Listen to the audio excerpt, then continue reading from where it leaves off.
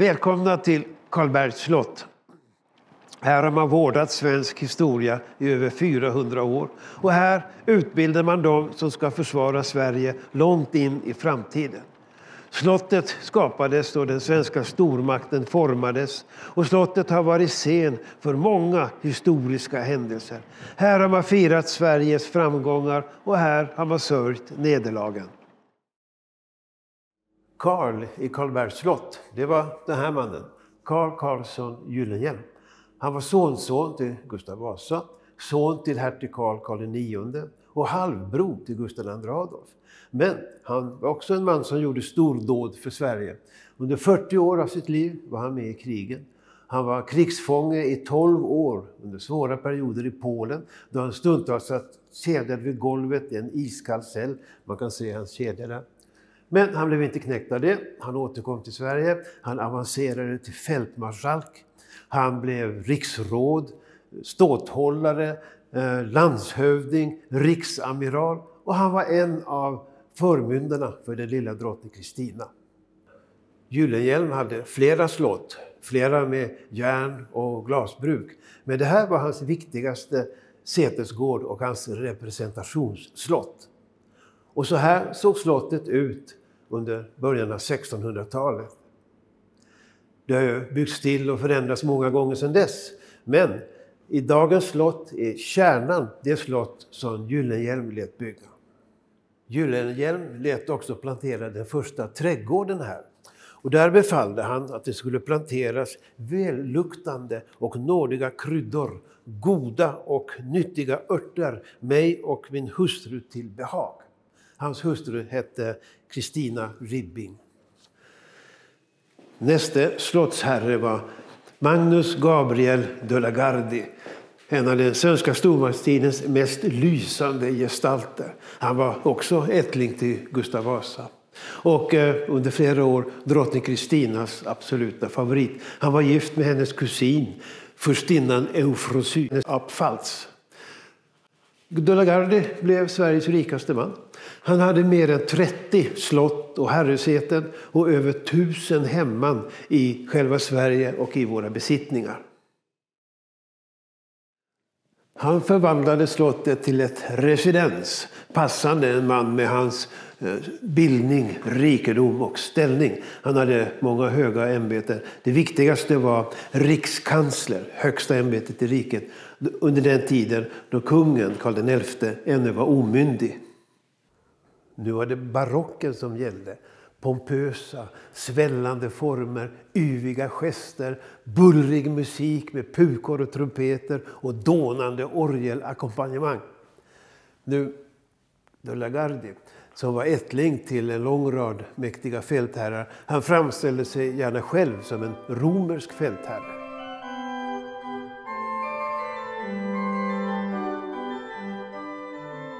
Slottet och trädgården byggdes om rejält. Så här är Karlbergs slott med hamnanläggning och den nya trädgården som det visas upp i Dahlbergs Svecia-verk. Eh, allt detta kunde ju inte förverkligas, inte hamnanläggningen. Men inredningen i salarna blev magnifika och värdiga Sveriges mäktigaste man och värdiga att ta emot konungen på besök. Allt detta ritades av samma arkitekt som ritade Riddarhuset inne i Stockholm, Jean de la Vallée.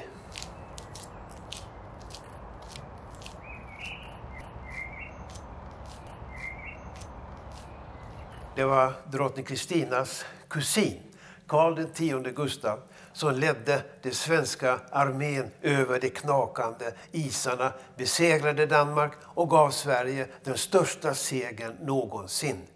Magnus Gabriel de la Gardie var med i det kriget. Men kungen han avled strax efter sin stora framgång och Sverige fick en ny kung som bara var fyra år gammal. Så de la Gardie var, ledde förmyndarregeringen när Karl XI var omyndig. Men trots att de la Gardie var gift med kungens faster förlorade han nästan alla sina slott och alla sina egendomar i den stora redaktionen. Så Delegardes möbler, tavlor och dyrbarheter bars ut från Karlberg.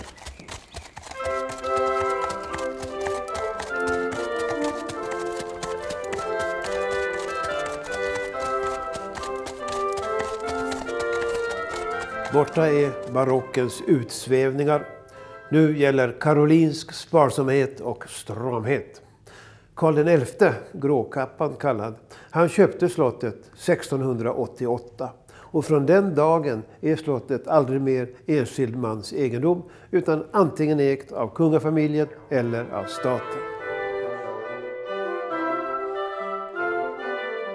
Slottet Tre Kronor inne i Stockholm brann helt ner 1697. Och i väntan på att det så kallade kungshuset skulle göras i ordning på Riddarholmen så flyttade hela den kungliga familjen ut hit till Karlberg. Och eh, drottningen Ulrika Eleonora hon trivdes så bra här. Barnen växte upp här och här fick Karl XII sin skolning. Men det var också här som drottningen insjuknade alldeles för tidigt, avled och låg på Lider parad. Så här är vi vana att se Karl XII. Så här ser han ut tror vi. Men så här såg han ut när han bodde här på slottet som ung man. Han och hans kamrater hade våldsamma fester här. Det var fester som väckte uppseende och ogillande i hov och societet. Men det roliga tog slut för kungen och i januari år 1700. Då bröt det stora nordiska kriget ut och den 17-årige Karl drog ut i kriget. Han var borta ända till november 1718 då han stupade i Norge. Det tog två månader att få hem hans bår. Och hans kista bars in här i detta rum och ställdes här av 14 överstar. Och här stod kistan en hel månad i väntan på begravning. Ute i parken här finns ett Karl XII-minne som blivit slottets stora dragplåster för stockholmare och skolklasser på utflykt. Det är graven efter Karl XIIs favorithund Pompe. Sverige går nu in i en helt ny tid. Borta är det kungliga enväldet. Frihetstiden heter den nya tiden. Och Karl XIIs syster Ulrika Eleonora den yngre är regent först under ett år men lämnar över makten till sin make Fredrik den förste. Och de bodde här, den kungliga familjen, ofta på somrarna.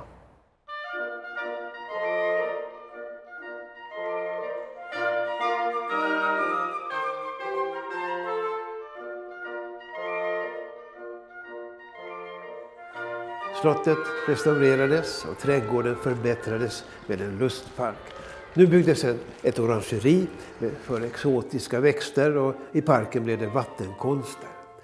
Och det byggdes nya byggnader till, ekonomibyggnader, en ladugård och andra små nödvändiga hus. Och slottet förvandlades till att bli ett kungligt lustslott. Här tillbringade kungafamiljen flera månader varje sommar. Här firade de sina fester och högtider. Det här var slottets sista glansperiod som kungligt residens. Och allting gick nu i tidens stil, rokoko. Fast eh, då sa man inte rokoko, man sa den nya stilen, för man ville vara modern.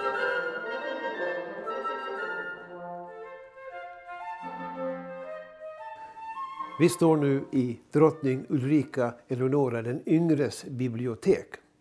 Drottningen var gift med kungen Fredrik den förste och det var en speciell man. Han var känd för ett enda huvudintresse här i livet. Det var jakt.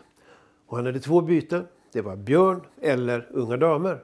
Han hade många älskarinnor. Det mest kända var Hedvig Taube som födde honom fyra barn och hon avled också i barnsäng. Hon hade egna rum här på slottet. Kungen älskade att jaga. Han brukade jaga här i slottets djur Djurgård, Djurgården hette det. Ett stort område inhägnat där man höll rådjur och hjortar alltid redo för kungen och hans jaktsällskap. Men det var inte alltid så lyckad jakt. En jaktdeltagare skriver på ett ställe att det enda byte de fick den dagen var en ekorre och tre kråkor. Kungens jägare hade order om att samla ihop levande harar med hjälp av nät. Och dessa harar skulle släppas lös i trädgården och parken så att kungen hade byte på närmare håll. Fredrik den förste brukade hålla rådsmöten på Karlberg. Det betydde att Sverige regerades härifrån. Och det betydde att de utländska sändebuden kom ut hit för att få audiens hos kungen. Och det finns dokumenterat i bland annat två målningar. På den ena kan man se det turkiska sändebudet Said Efendi Pasha. Och på den andra ser man sändebudet Mustafa Aga som kom i spetsen för en delegation på 40 turkiska köpmän som alla vill ha betalt för obetalda räkningar från Karl XIIs tid. Efter Fredrik den första övertog Adolf Fredrik och Lovisa Ulrika Karlbergs slott. Fast de var oftast här bara på korta dagsbesök. Men redan då, som nu, så kunde stockholmare komma ut hit. De kan promenera i parken och ha picknick i gröngräset. En av de mest kända besökarna då, och mest kunniga, det var den unge Carl von Linné som var här och tittade på blommor. Och det har han skrivit om i sina böcker. Men eh, slottet fortsatte att vara platsen för nöjen och festligheter i tidens anda. Adolf Fredrik han var stormästare i frimurarlogen varför det hölls sammankomster här ute med Kungslogen. Men även andra loger hade sina större högtidsfester på Karlberg. Adolf Fredrik han gav slottet till sin äldste son, den blivande Gustav III. Så kronprins Gustav inledde genast omfattande om och tillbyggnader av slottet. Fast det blev aldrig av. Under Gustavs tid bodde en del kulturpersonligheter här på somrarna. Den mest kände var Carl Michael Bellman som skrev en del av sina sånger och epistlar här. Och en annan kändis var skulptören Tobias Sergel som bodde några somrar i ett eget hus i området.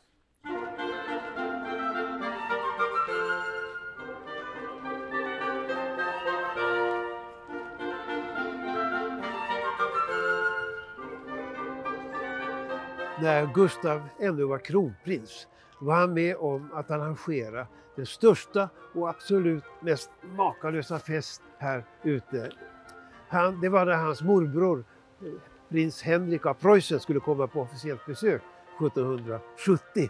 Gustav gav då order till sina mest lysande arkitekter och festfixare att förvandla slottsparken och slottet på ett otroligt sätt. Han lät bygga det här palatset det var Jean-Erik Rehn som ritade det.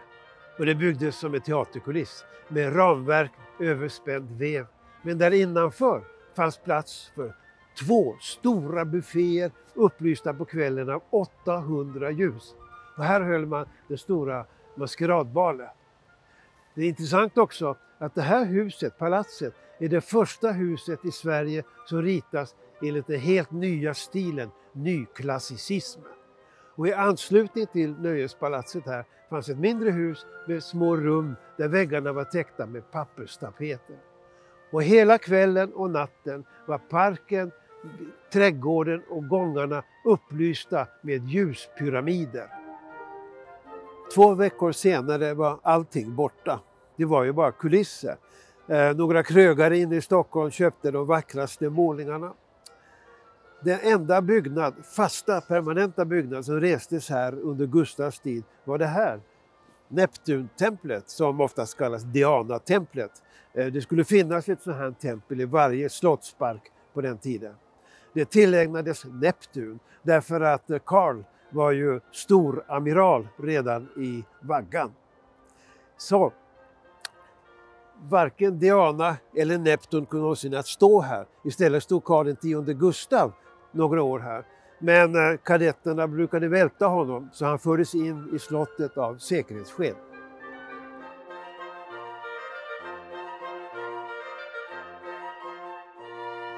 Hertig Karl, som med tiden blev kung Karl XIII, övertog Karlbergs slott. Och det är han som bestämmer att här ska den nygrundade krigsakademin ligga. Beslutet togs den 17 juni 1792. Och för att få plats för skolan och de 200 kadetterna så beslöt man att bygga de här magnifika långa flyglarna. Och det gjorde man snabbt och billigt. Och att det gick så snabbt och billigt det berodde på att eh, eh Gustav III han hade strax innan han dog dragit igång bygget på ett gigantiskt konstens tempel ute på Haga. Men när han blev skjuten och var borta så lades planerna ner. Istället transporterade man snabbt hit en och en halv miljon tegelstenar och stora mängder kalk och byggandet drog igång och det var klart på drygt ett år bara. Men det var första gången det hade gått så snabbt. Det var svenskt rekord i bygga. Efter många om och tillbyggnader på själva slottet och hela parkområdet här så står här nu Militärhögskolan Karlberg. Världens äldsta ännu existerande fungerande krigshögskola på samma plats så länge. Och därför kan man säga att det kungliga lustslottet, där man en gång hyllade historiens hjältar, det har blivit ett statligt framtidsslott där man utbildar dem som ska försvara Sverige långt in i framtiden. Det vill säga framtidens hjältar.